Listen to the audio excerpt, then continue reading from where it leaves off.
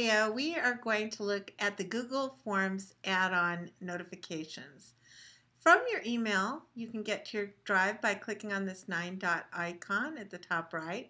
Select Drive. As the Drive loads, you can go to Create Form to create a new form.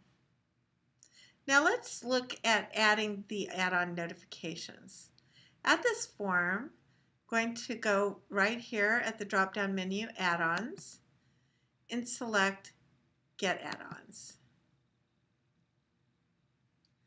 And here are the Google Form add-ons that are currently available.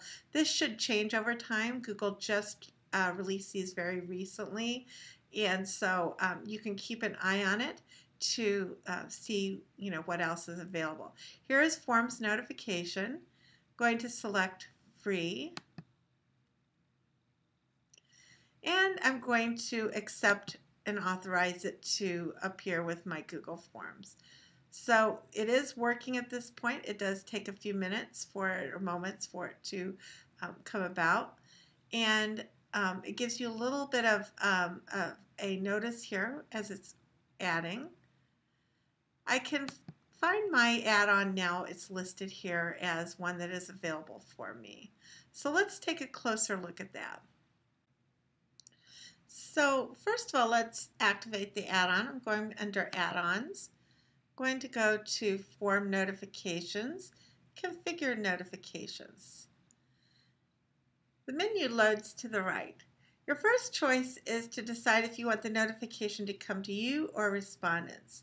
Notify Me is nice as an add-on, but it's not as necessary as uh, the respondents one, but let's take a look at it anyway.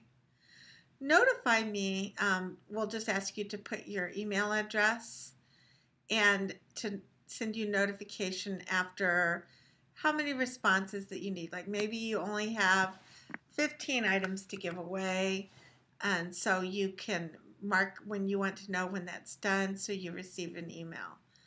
You can also ask it to notify respondents at that point. Um, so let's save that. And then I will get an email um, every time when 15 people have responded to my survey. Let's look at why that you do have another option for that so it's not necessary to use the add-on. Here is the sheet which is going to gather the responses for this survey. You've always had the ability to go um, into the forms, excuse me, tools, select notification rules, and here you can ask to be notified anytime changes are made or a user submits a form. You can decide if you want a daily digest or if you want it right away. So that has some similar functionality to the, the um, notify me function of form emailer notification. But let's look at the one for notify respondents. That is something that is, is very cool.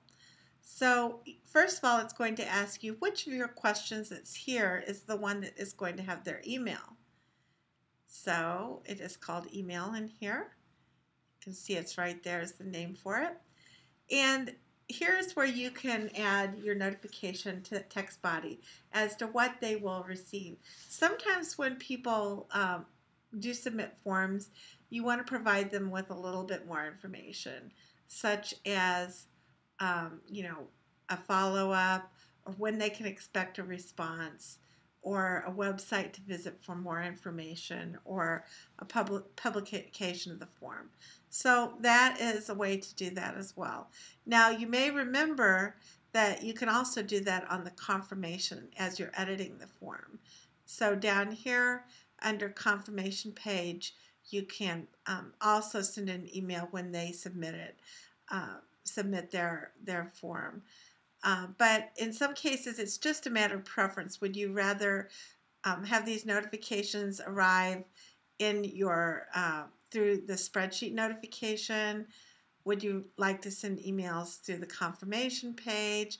Um, sometimes people click off so quickly they don't notice that confirmation coming in, but to have an actual email will help them have something to save and look back on for further follow-up. So this is um, how to do the form notification add-on with Google Forms.